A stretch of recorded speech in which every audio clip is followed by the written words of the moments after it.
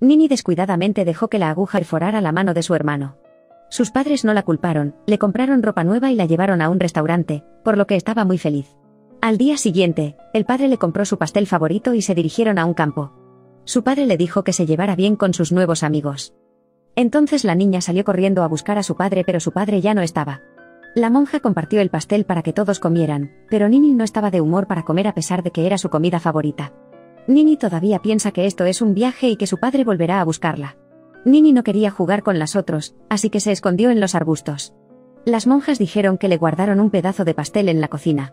Hasta la noche, estaba cansada y hambrienta, así que salió. Luego fue a la cocina a buscar el pedazo de pastel pero se lo comió otro niño. Nini se sentó en el suelo y lloró, luego se desmayó de hambre. Al día siguiente, todavía no quería comer, tiró la comida al suelo. Nana va a consolar a Nini, y le dice que trate este lugar como su hogar, y que deje de ser tan terca. Nana es la chica más comprensiva aquí, ayuda a Nini a recoger la comida. Después, el director llamó a Nini a su habitación. Nini le dice al director que ella no es huérfana, y quiere encontrar a su padre. Nini escaló la pared, todos se apresuraron a detenerse. Pero solo Nana se atrevió a trepar para derribar a Nini. Una monja abrió la puerta para que Nini pudiera irse. Se enoja y dice que todos ya no la detendrán. Después de escuchar lo que dijo la monja, Nini bajó inmediatamente.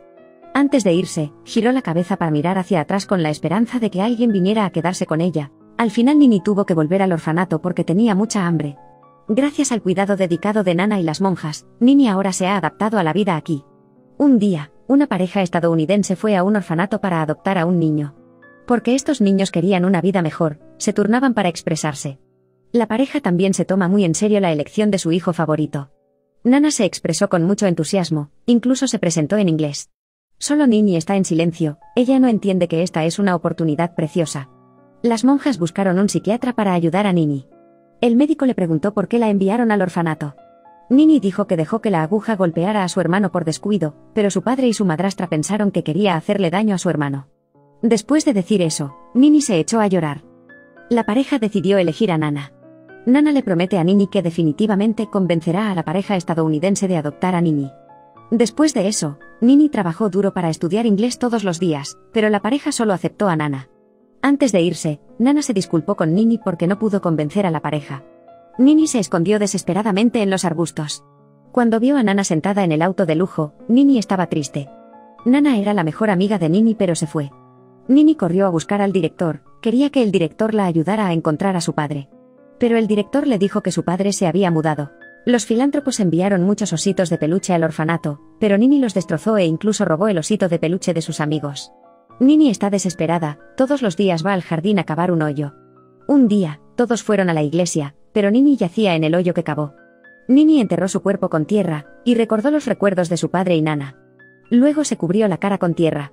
De repente, Nini cambia de opinión, piensa que esta vida es suya, y su padre no es quien lo decide. Nini luego vivió más activamente, trabajó duro para aprender inglés para que algún día pudiera ser adoptada. Finalmente fue adoptada por una pareja francesa. La monja ayudó a la niña a ponerse su vestido nuevo. Todos cantan adiós a la niña. Los nuevos padres de Nini la recogerán en el aeropuerto de París. En el avión, Nini pensó en el tiempo pasado con su padre. Después de un largo vuelo, Nini finalmente conoció a sus nuevos padres.